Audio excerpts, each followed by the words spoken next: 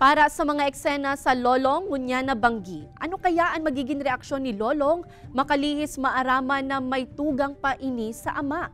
Mantang magtrayumpo kaya si, si Kapitana Dolores na i-frame up ang mga atubaw sa laugkan simbahan? Aramon ang mga kasimbagan at yan alas 8 nin banggi sa GMA.